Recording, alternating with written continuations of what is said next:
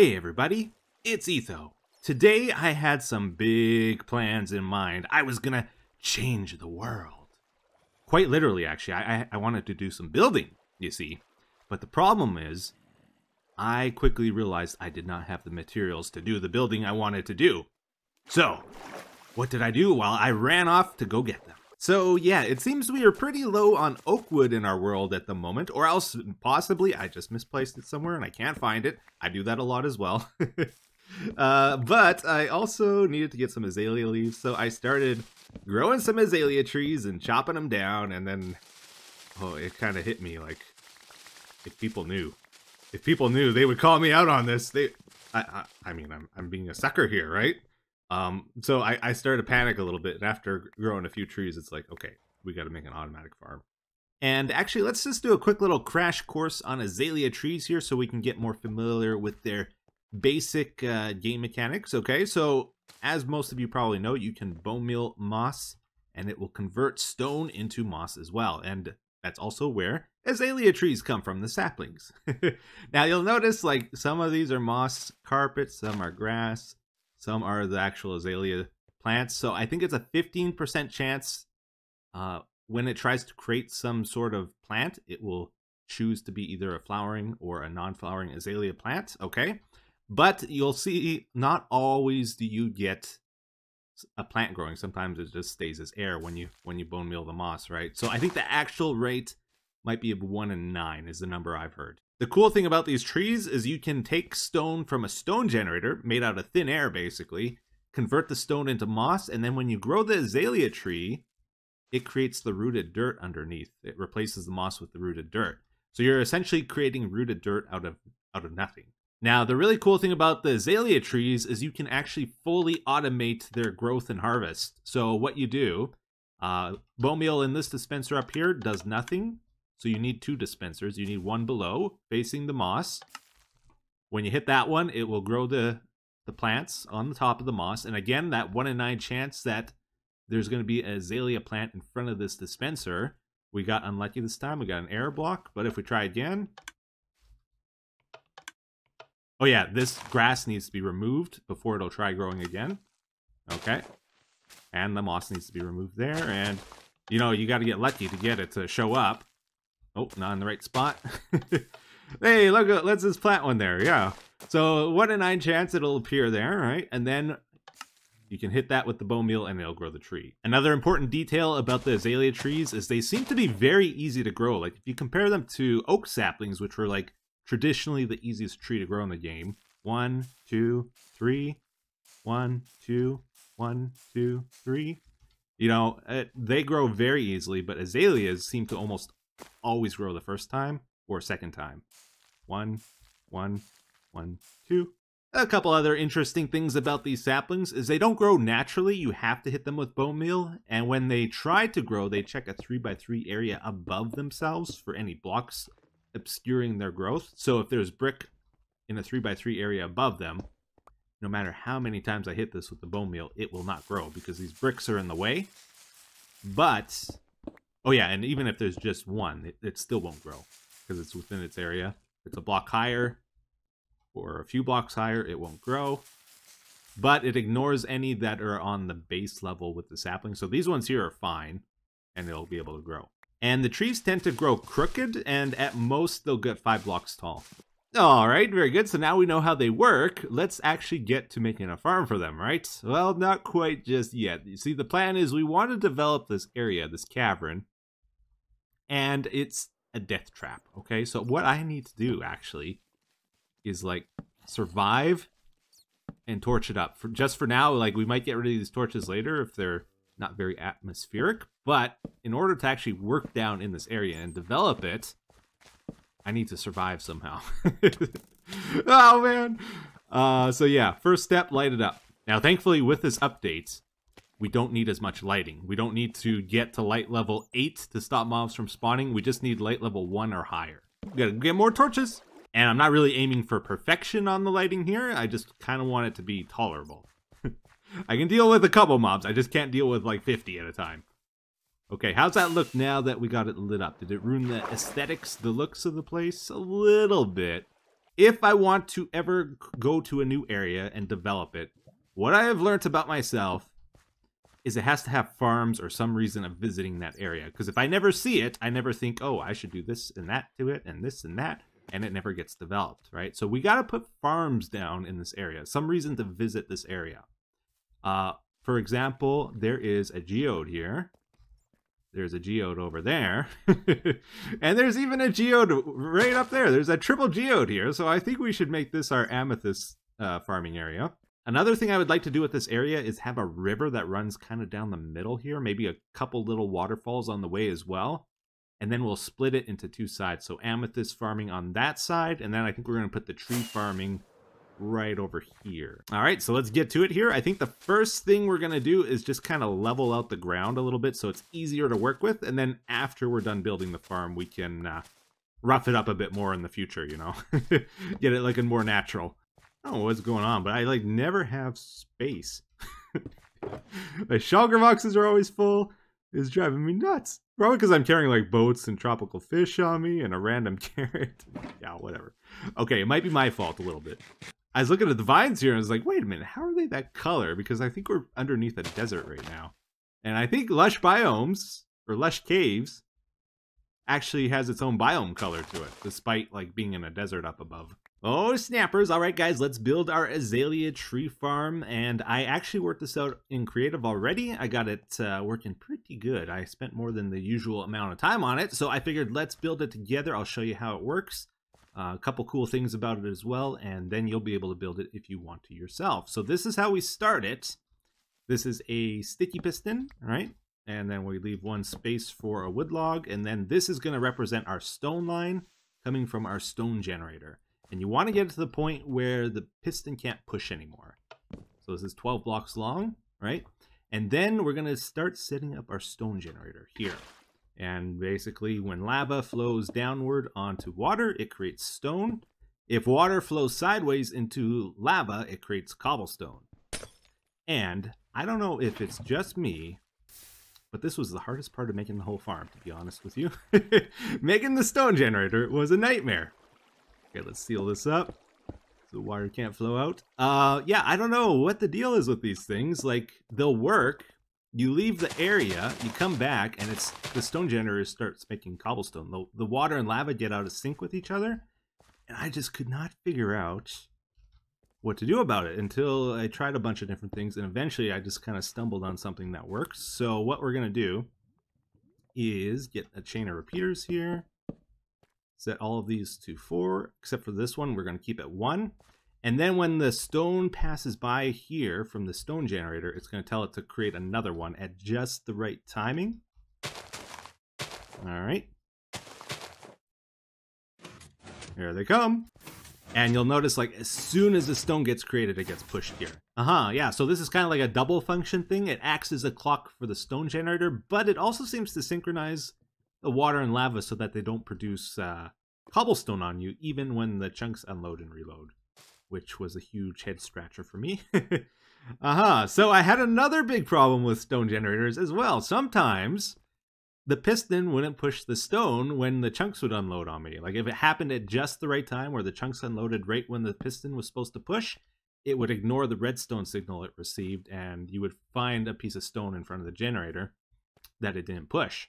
So my solution for that problem is a countdown timer where basically if you leave the chunks and come back at just that right time where it'll fail, uh, this constantly refreshes the countdown timer until the piston kind of messes up. Then this will go off, the torch will come on, and then it'll try push one more time. And yeah, the goal of these safety systems is we want to be able to run this farm automatically, like turn it on, be free to move around our world and not worry about chunks unloading on us and breaking the farm we want it to just run all the time without like, hey, we're in the area, we have to turn the farm on, stay in the area for it to work, and then like when we're leaving the area, we got to make sure we shut it off, otherwise it's gonna break on us.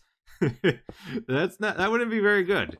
Uh, so hopefully, what I figured out here will will keep that from happening. Yeah, so we go for six sticky pistons in total, each with a log in front. The log thing is a trick with tree tree growing. Um, Remember the 3 by 3 rule with the azalea trees? when they grow here and they check the three by three above them, they ignore logs as one of the, the things that will stop them from growing. So this is a way we can push the tree that grows here without needing a double extender with the, the pistons. Then we run our redstone line up there, and we're going to add one more slab at the top here because otherwise a log will eventually grow here and cut the wire. This prevents a log from appearing in the spot right there. Are you ready for the logic part of the farm? This is the, the tough part of the farm, okay? Uh, yeah, I worked really hard at compacting this. I hope you appreciate it, even if you don't understand it. Uh, here we go. Okay, so the goal is, by the way, to get the moss to spread to this block and then grow the tree on top of it. So what we do is we bone meal the moss with this dispenser. It's facing towards it, right? We also need to remove the grass that grows on top of the moss, otherwise it can't grow anymore, which means I need a piston. I totally forgot about that part. Okay, that goes right on top of the dispenser, breaks the, the grass that spawns on top there. Easy peasy, right? Well, then what we got to do is we got to take the observer. This updates when the block moves, right? And then it goes to block here with a redstone dust on top. This activates both the piston and the dispenser, and it seems like the dispenser triggers before the piston for just update order reasons. Uh-huh. Then we take the signal from there, it goes across over in this way. Also, we need to grow the tree that's here using another dispenser, which is over here, which gets powered by this as well. We also need to place blocks over top of the stone here, otherwise this will convert to moss. We need three of them, because that's how far it extends to. Now, what we got to do is take the signal from here and send it to there, uh, while also sending the signal back this way with just the right timing so that this triggers more than once. We want it to trigger twice. Okay. And then uh, what do we do here? I don't even know. Uh, no, I do know. I think we want three repeaters. This one's set to four. This one at one. This one to four. So when this repeater updates, it triggers this and gets another pulse to the dispenser growing the tree. What else? Oh yeah, we want to get another pulse to this one because remember, sometimes you get air blocks even after you bone meal this. So to improve our chances of us getting something to grow there, we're going to trigger it twice using another delayed pulse going to it. And that's it. That's the tree farm. So it should be able to grow trees now. Uh, let's give it a try here. We got these loaded with bone meal. To start this farm, if it ever gets stuck, like if it runs out of bone meal or you run out of TNT, you got to break that block right there where the trees grow. And then we just send a pulse to this to get it started again. All right. Yeah, we got a tree farm. Did I mess up? Let's find out. Oh, I got moss in the area here, so it's spreading everywhere. Oh my goodness. I gotta remove that. Oh, we got our first trees. Uh-huh.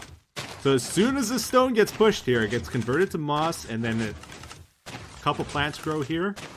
It tries twice. Oh, there's another azalea. Awesome. Okay, so it seems to be working. I just shut it off for now. We got a few more things left to build here, but this is what it does. It basically creates a long strip of wood here and uh, the rooted dirt underneath, and then we got to blow that up and collect it in a collection system. So that's what this is over here. It's uh, five wide. We're going to put water here. Fill this up. And it is exactly like the tree grows here. So it's a one, two, and then a third block is where the water is. That travels eight blocks to the end here. And then we're going to put another water source. Uh, it doesn't really matter where. I'll put it there. And then that's going to go to just a hopper for now. Until I do something more fancy. uh, hopper. It'll put the logs and stuff into a chest so that we don't lose it. Like so. And then I'm just going to put a trapdoor uh, over here. All right, so that should pick up the stuff that lands in the water here. Nice and easy. Next up here, we're going to set up a TNT system for harvesting the wood from the tree farm.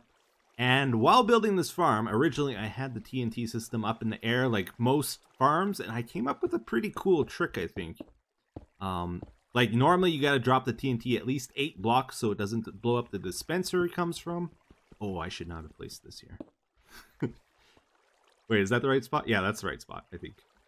Okay, I'm gonna just put uh, a piece of brick underneath there.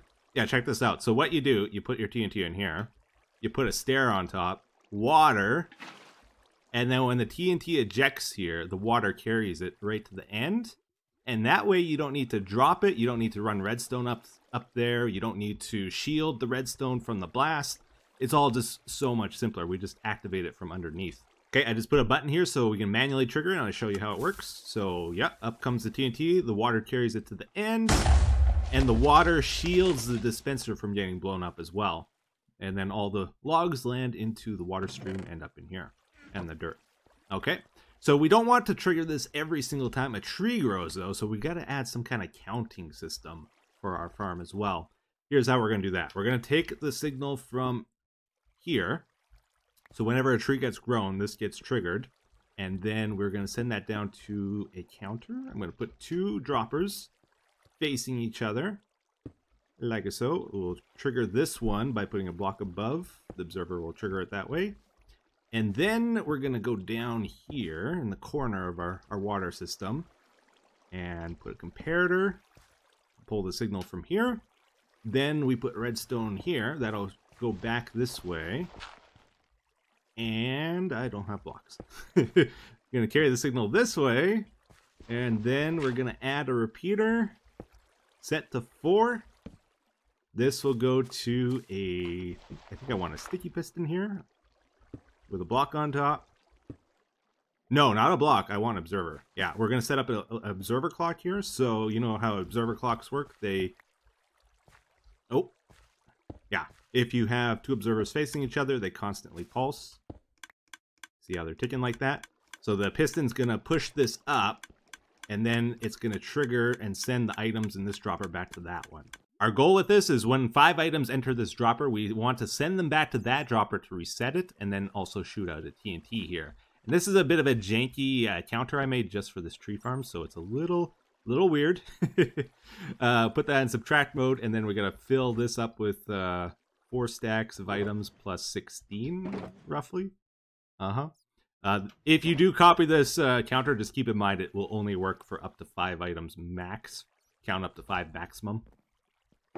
Okay, and 16. Okay, so now what's going to happen is when we put swords in here, or an item that doesn't stack, five of them, it should reset. Where's my last one?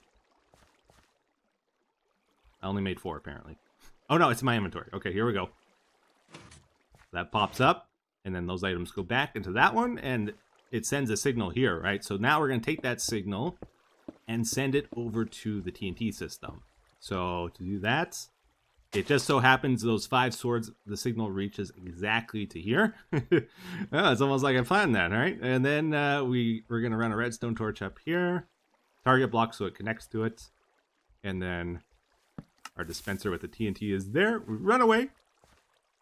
And then we're free to cover all that stuff up, and it doesn't look too bad, right? It's a pretty clean presentation to the farm. Uh, man, I thought we were going to get this done 10 minutes tops, right? yeah, we're still going here. Uh, it's a good thing we didn't uh, design this together, too, or we'd be looking at 20, 20 episodes on this thing, I think. Oh, man. Don't worry, you're going to get an extra long episode today, guys. Uh, I thought we were gonna get this done a lot faster than we are. I still want to build some stuff.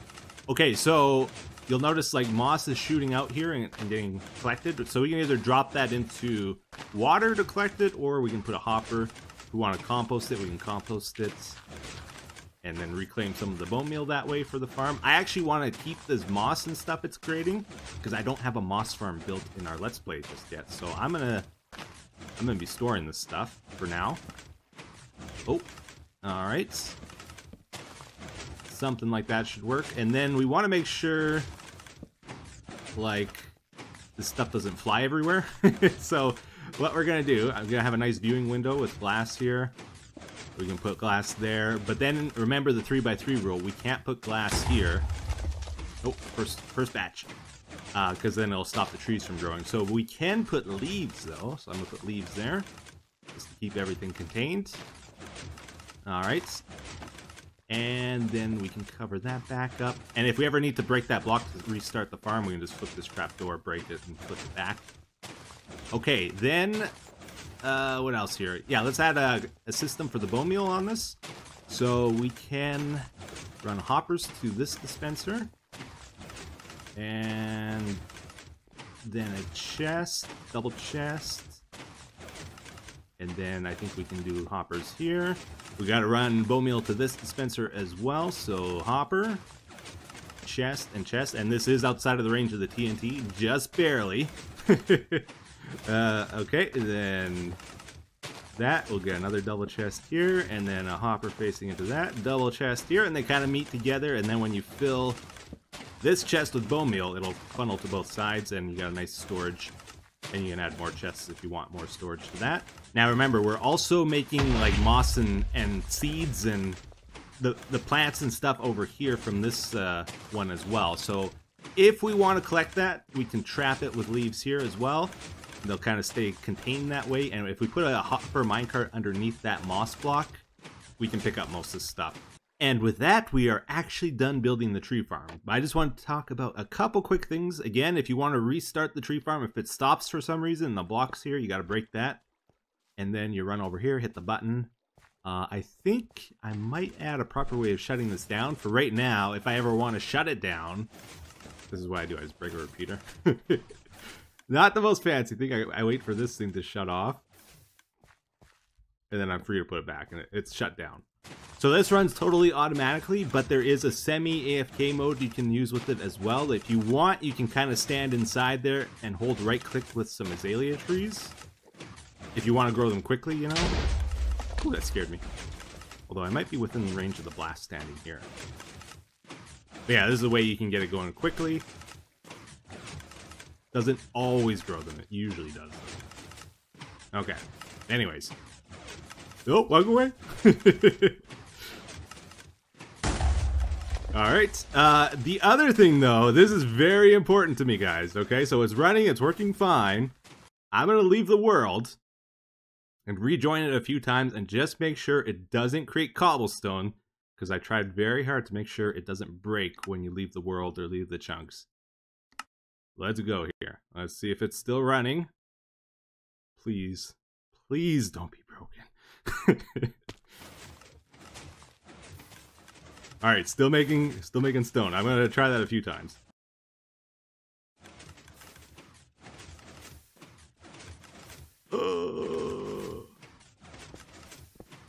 Why? Why?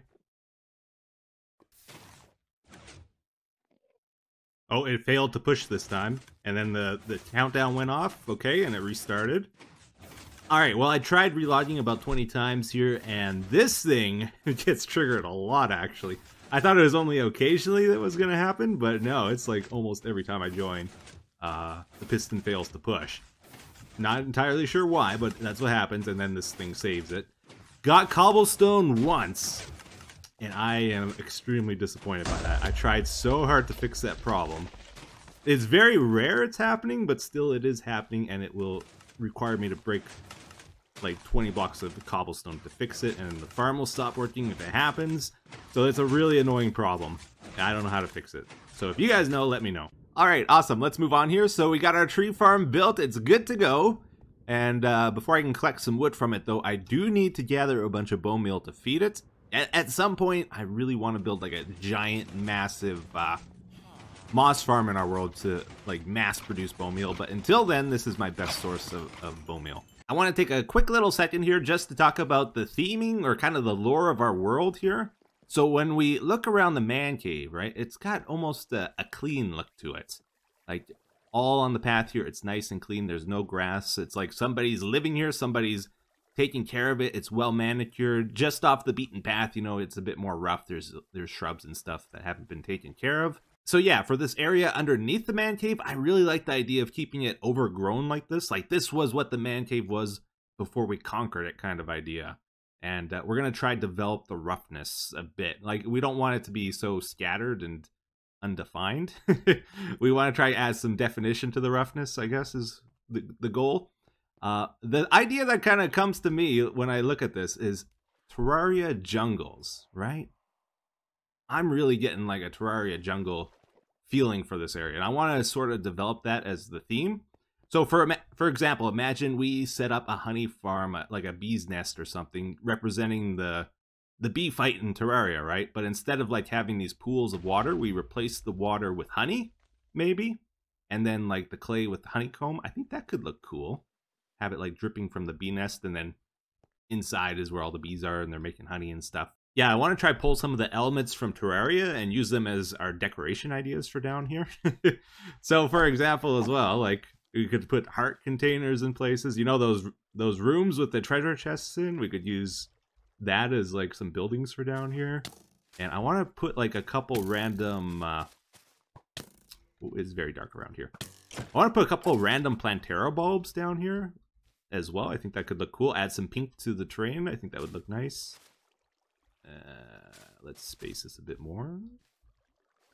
Actually, this is going to be a big bulb, isn't it? it's good. We want like big elements though, right? We don't want everything so small. It needs to be like, oh, that I, I know what that is. It's a Plantera bulb when you look at it, kind of thing. Uh, round that out. And I'm going to fill this in with the, the pink terracotta. And hopefully this looks cool. We probably got to rough this up a bit more. And then... Uh, let's go up more. Yeah, let's go up one more, and then we'll do the... We'll bring it in a bit. How's that looking? Let's take a let's take a step back. Huh? That's not bad, right?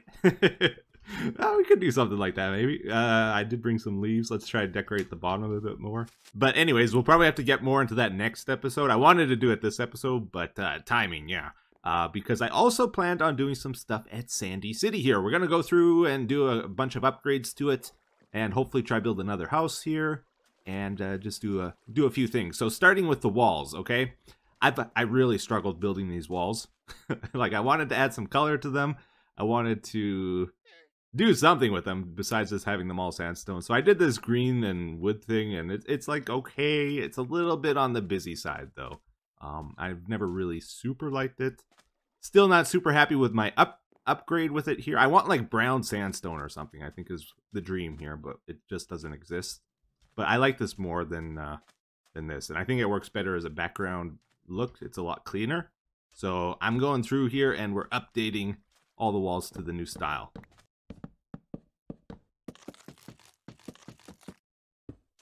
Sandy City has three of these gate things around it, and I still really like them. I think they turned out okay, but uh, I wanted to add some extra detail to them. So I'm going to put some uh, campfires uh, up like this. And I think that'll be good. It'll add some animation, it'll add lighting, and just give a, a bit of life to the area as well.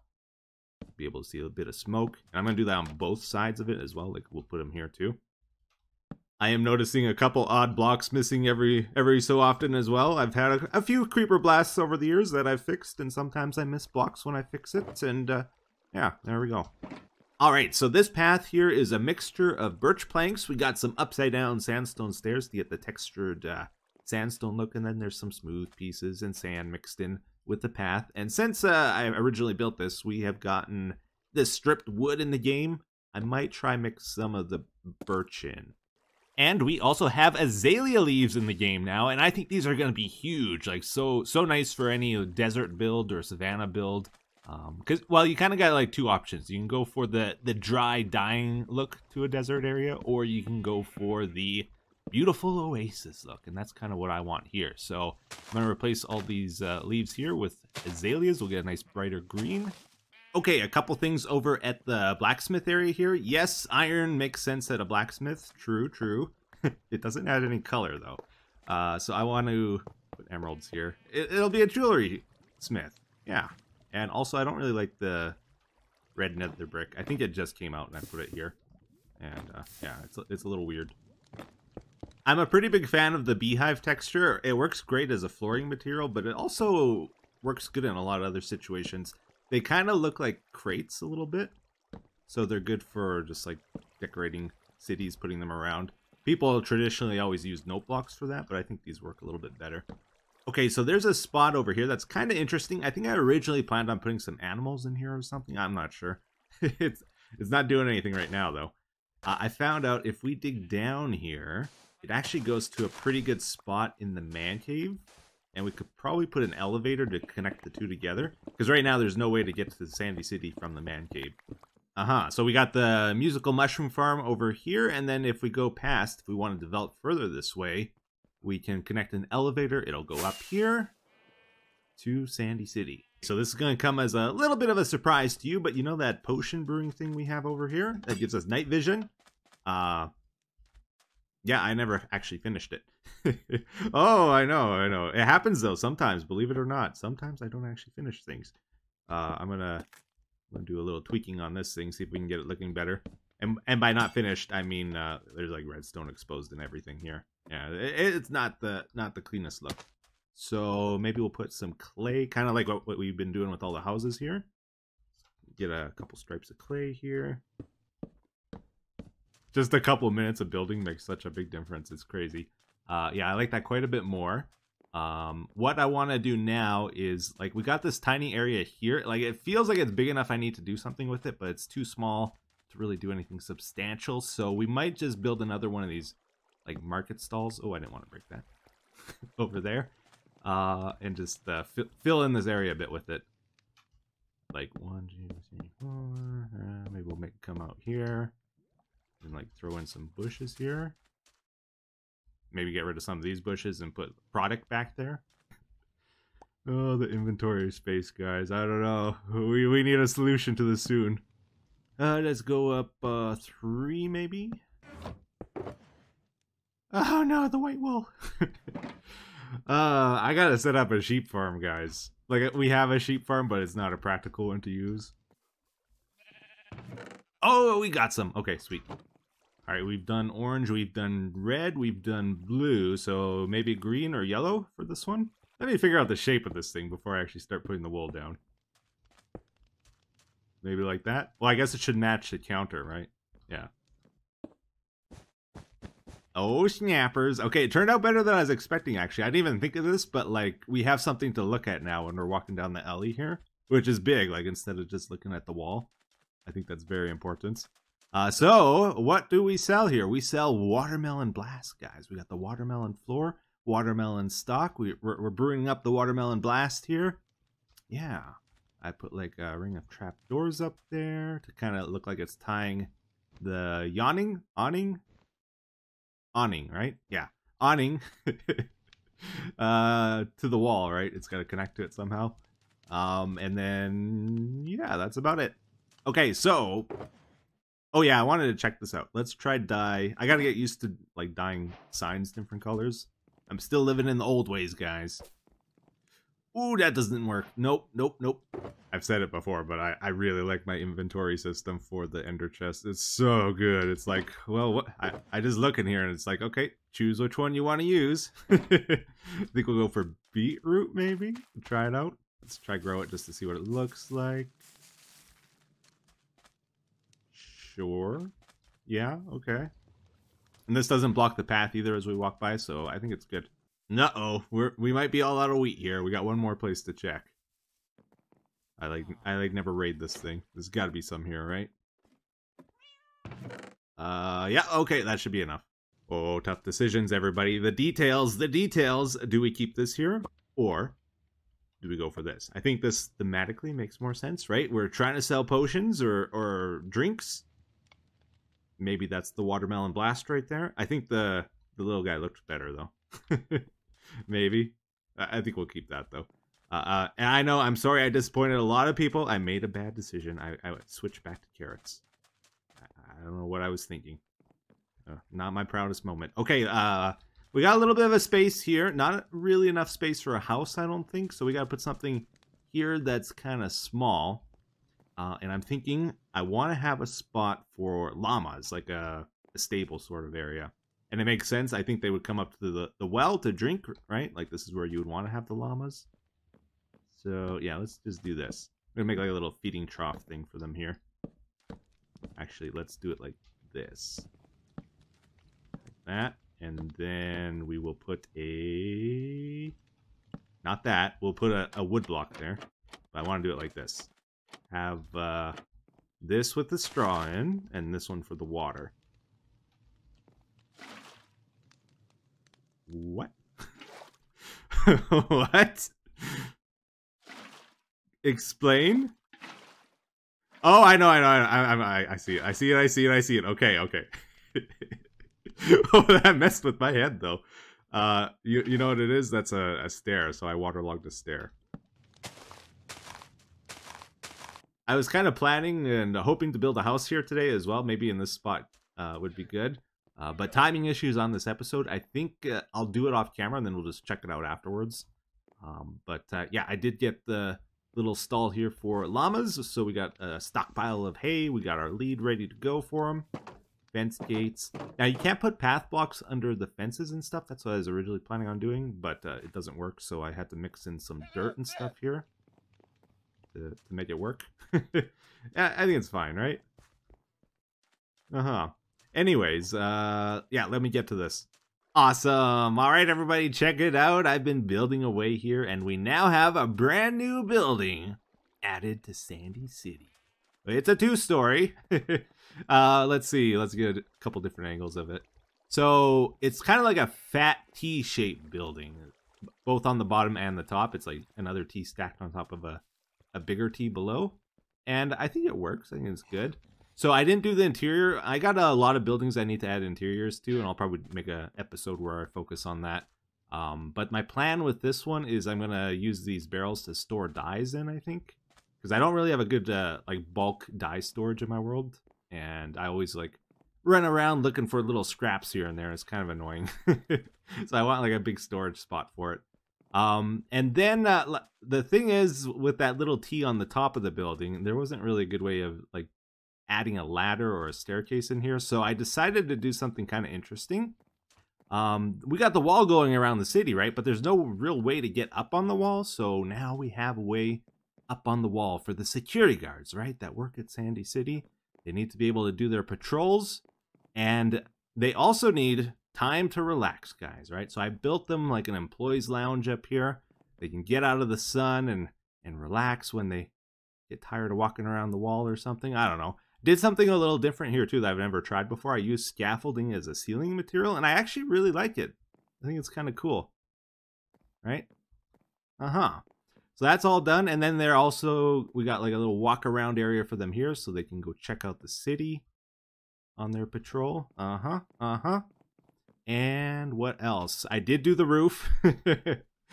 oh man, you know, you spend half the time building the building and then you waste another half the time on the roof, right? And it's not even a full roof. It's like it's like a weird shaped roof. Check this out. It's uh, a very weird roof.